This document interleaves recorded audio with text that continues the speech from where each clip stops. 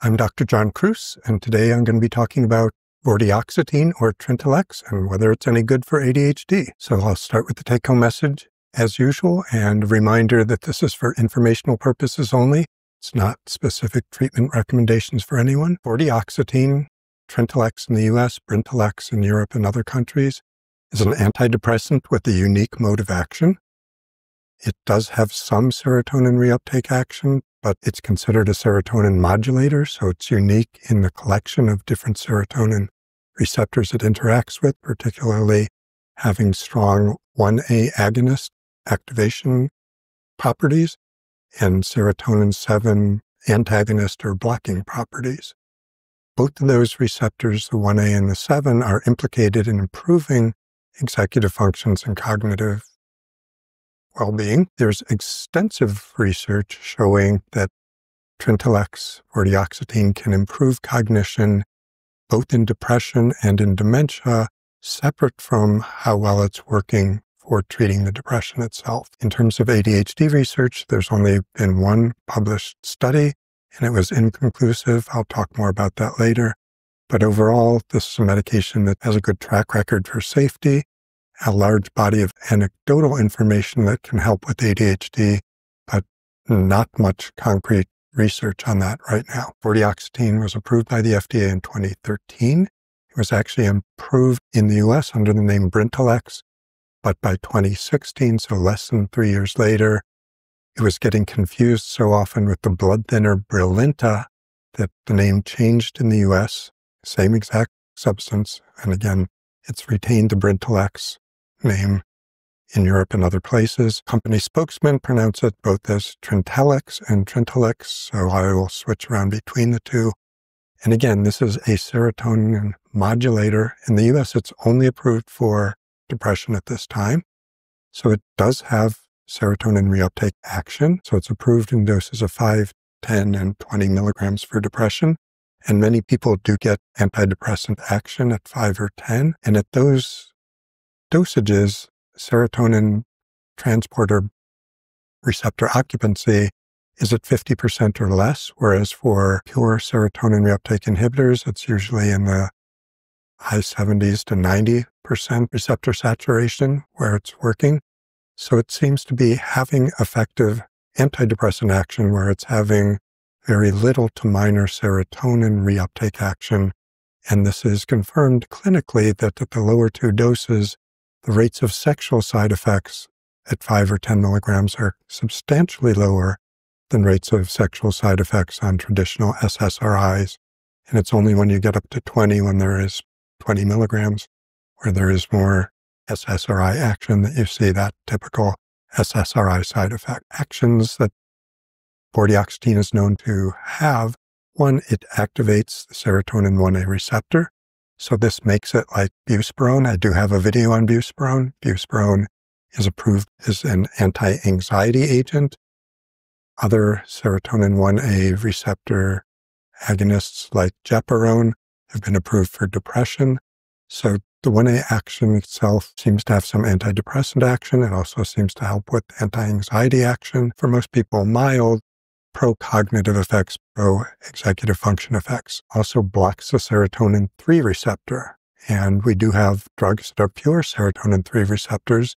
Those are drugs like ondansetron, which is a anti-nausea medication. You would think then that this drug would be anti-nausea and strangely it has about the same rate of causing nausea as pure SSRIs about 25% of people initially. Most people on an SSRI, nausea goes away within a week, or it only comes back on special occasions when other aspects of the GI system are under stress.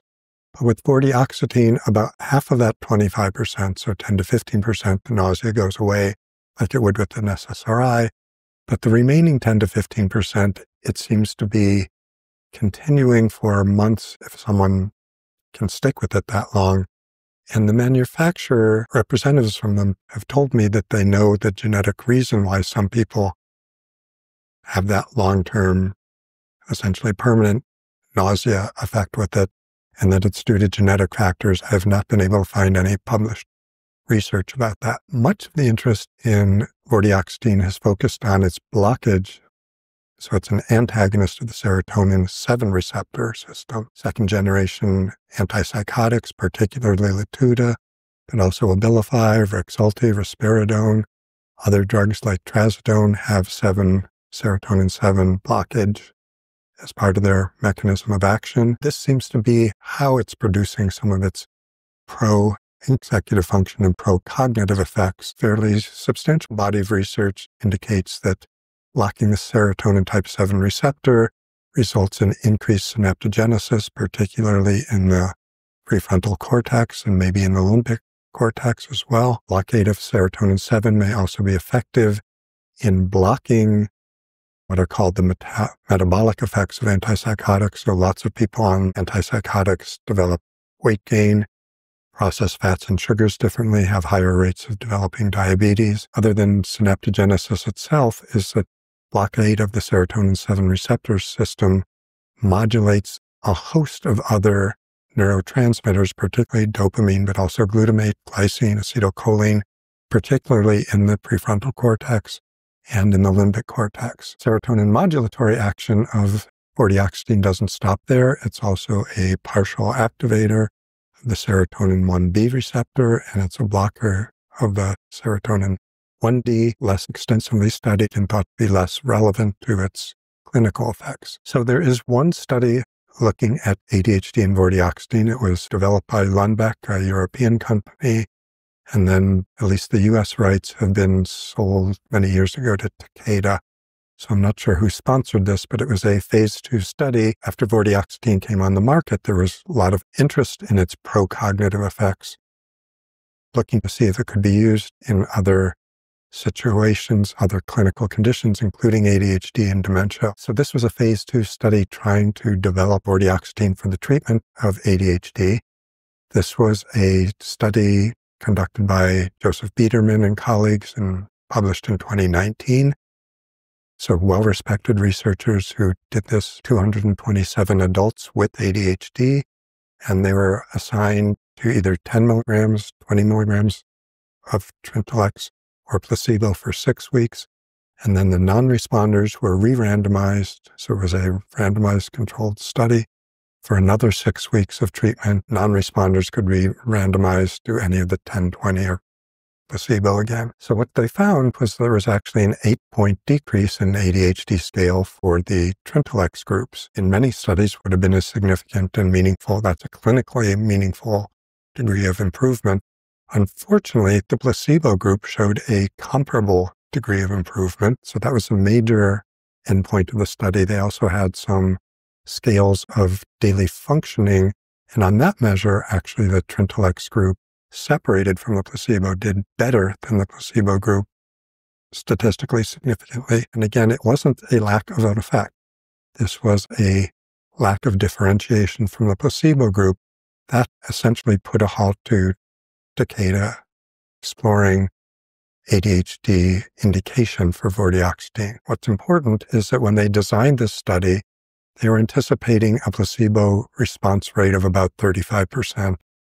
But what they got was closer to 56%. The design of the study was based on having at most 40%. I would say rather than this being a negative study, it's an inconclusive study. They would have needed to look at bigger numbers to see, given that this high placebo rate, whether they had an actual active treatment there. And then another strange aspect of the study and why it's again lack of lack of efficacy should not be too disconcerting. Is that there was an extremely high rate of non-adherence. So almost a third of people, blood levels of the drug in their body were discrepant with how many pills were left in their bottle. That's particularly significant given that Trintellix has a long half-life, close to three days rather than about one day for many of our other antidepressants. I'd say the whole study is highly inconclusive. Other than that, there's no formal research studies with Trintellix for ADHD. There's a handful of case reports showing it can be safely combined with methylphenidate, that it seems associated with improvement in ADHD, although that couldn't be separated out from Ritalin, which the patients were also on. So that's the end of the story for formal studies, but there is a extensive amount of online discussion on Reddit and other groups of many individuals finding substantial benefit for the ADHD symptoms with Trintellix. In the depression field, in contrast, there's extensive demonstration that a wide range of cognitive and executive functions, including processing speed, attention, memory, psychomotor skills, other executive functions, improve with vortioxetine, and that this is considerably more impressive than these cognitive and executive improvements with other antidepressants, not just a response to improving depression, that some of these cognitive executive functions seem to improve more quickly than the mood effects and can be found in individuals who didn't particularly get a mood effect, but did get a cognitive effect.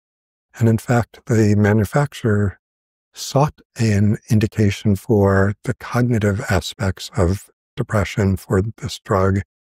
And the FDA denied that. They allowed them to say that it improves processing speed, but they don't have a separate indication whether this was because the FDA, FDA wasn't satisfied with enough data or more on a theoretical basis that the FDA did not want to get into the practice of approving a drug for a specific subset of symptoms for an indication when it was already approved for depression itself. Company and Others outside of the company have conducted numerous studies looking at mild cognitive impairment, the early stages of dementia, and early stages of Alzheimer's itself, as well as frontoparietal dementia. Some of these involve people who are both depressed and demented, showing not just cognitive decline, but an actual improvement in cognitive functioning and executive functioning in these individuals.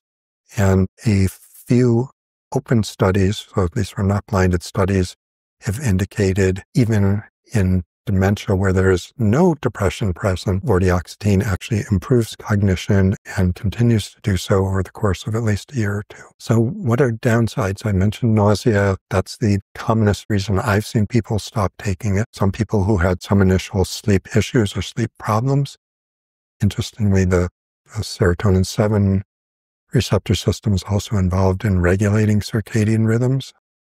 But cost has been one of the biggest barriers. So if your insurance covers it, great. But in the US, this is a drug that's about $600 a month out of pocket. It will be several more years at least before it goes off patent. Can't make any recommendations, but this is a drug with a good safety record. Again, likelihood of sexual side effects or SSRI side effects is substantially lower lower sexual side effects, lower emotional flattening or numbing out. It's highly unlikely to be problematic and may be worth investigating for a broader number of people with ADHD than it's currently being looked at for. Take this information to your treatment team. Don't try this at home. This is not a specific recommendation for anybody, but stay healthy, stay happy,